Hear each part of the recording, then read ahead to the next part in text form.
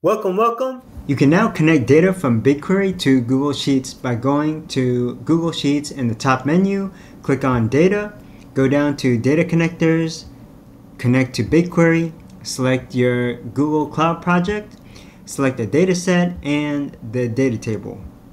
Click on Connect.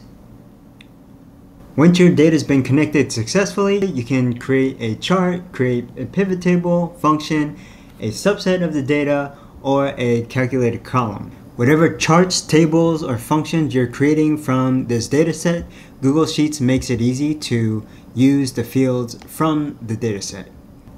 You can configure the refresh options, schedule a data refresh, or change the connection settings and choose another project or another dataset. If you found this useful, like the video and leave a comment. If you want more content on AI, workflow automation, and analytics, subscribe to the channel.